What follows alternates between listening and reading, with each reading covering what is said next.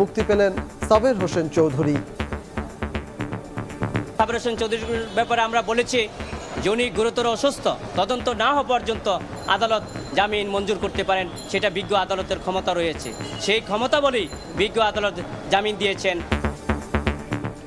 সালমান পলক ইনু মেনন সহ সাত জনের বিভিন্ন মেয়াদে ফের রিমান্ড। শেখ হাসিনার বিরুদ্ধে আরও একটি মামলা সাবেক প্রধানমন্ত্রীর সবশেষ অবস্থান নিয়ে তথ্য নেই সরকারের কাছে। ওনার অবস্থান সম্বন্ধে নিশ্চিত আমরা হতে পারিনি, আমরা দিল্লিতেও খোঁজ করেছি আমিরাতেও খোঁজ করেছি। কনফার্মেশন অফিসিয়ালি কেউ দিতে পারেন, আজমানে সম্ভবত গেছেন, কিন্তু এটা রিকনফার্ম করার চেষ্টা করে আমরা সফল হই। দেখছিলেন প্রধান শিরোনাম, সন্ধ্যার সময় সঙ্গে আছি আমি সজল মিত্র, রিচার্ড। এবার অন্যান্য শীর্ষ সংবাদ। বরখাস্ত নির্বাহী ম্যাজিস্ট্রেট তাবাসসুমের নামে সমন জারি আদালতের। প্রশাসনে এখনও ঘাপটি মেরে আছে স্বৈরাচারের দোসররা, অভিযোগ বিএনপি নেতাদের।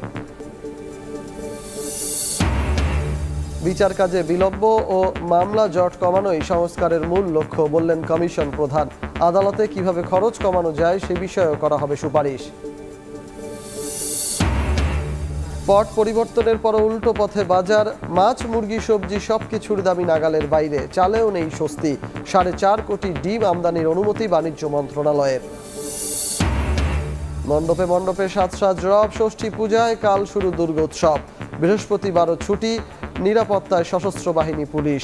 সংখ্যালঘুদের ওপর হামলায় জড়িতদের বিচারের আশ্বাস। এবং টি টোয়েন্টি ক্রিকেটে শেষ হলো পঞ্চ পাণ্ডব অধ্যায়।